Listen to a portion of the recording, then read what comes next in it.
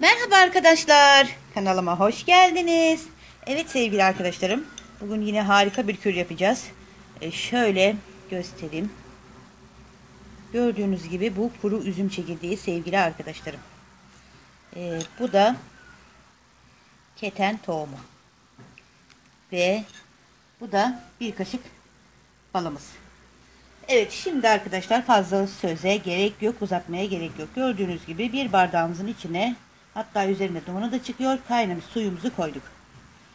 Şimdi e, şöyle bir e, çay kaşığı keten tohumumuzu.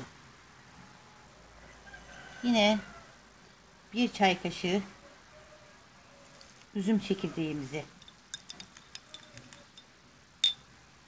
Sonrasında bir tatlı kaşığına yakın balımızı şöyle sıcak kaynamış suyumuzun içine koyup bal iyice eriyene kadar karıştıralım.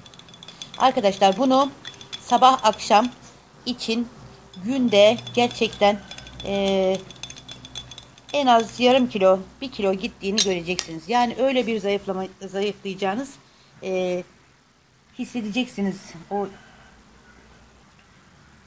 o verdiğiniz kiloları. Evet şimdi arkadaşlar bunu bu şekilde bu ölçüde ılık bir şekilde sabah akşam akşam e, gece yatmadan e, sabahta kalktığımızda içelim.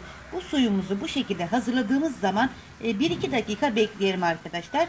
E, keten tohumumuz ve e, üzüm çekirdeğimiz e, aromasını içine e, salsın arkadaşlar. O yüzden e, 1-2 dakika bekleyelim kaynar suyun içinde sonra ılık ılık tüketelim.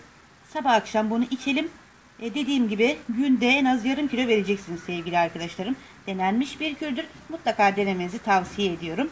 E, herhangi bir sağlık problemi olan varsa lütfen doktoruna danışsın. Öyle kullansın sevgili arkadaşlarım. Sizleri seviyorum. Umarım işinize yarar.